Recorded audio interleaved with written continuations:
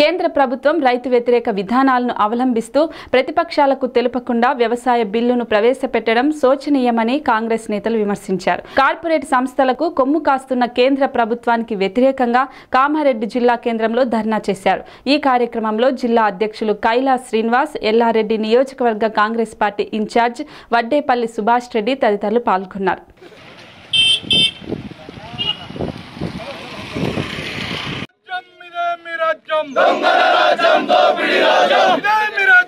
ಇದೆ ಮಿರಾಜಂ ರಾಜಂ दो राजम पीएम जुटा सीएम जुटा। दोनों मिलके देश को लूटा पीएम जुटा पीएम जुटा। दोनों मिलके देश को लूटा पीएम जुटा पीएम जुटा। दोनों मिलके देश को लूटा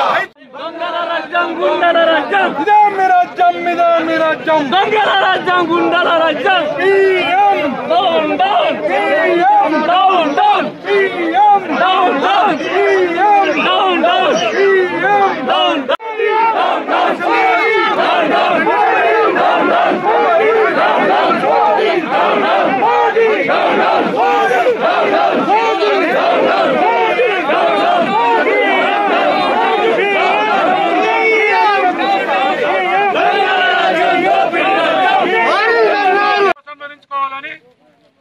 పార్టీ మరియు అఖిల పక్షం ఆధ్వర్యంలో కామారెడ్డి జిల్లా కలెక్టరేట్ ముట్టడి కార్యక్రమానికి విచ్చేసిన కాంగ్రెస్ నాయకులందరికీ అఖిలపక్ష నాయకులందరికీ టీజేఎస్ సిపిఐ సిపిఎం అందరికీ కూడా పేరు పేరున నమస్కారాలు తెలియజేస్తూ రైతుల నడ్డి విరిచే విధంగా ఈ రోజు మోడీ ప్రభుత్వం పదిహేడు పార్టీలను సస్పెండ్ చేసి కూచువాని ఓటుతో పార్లమెంట్లో పాస్ చేసుకున్న బిల్లును వెంటనే ఉపసంహరించుకోవాలి.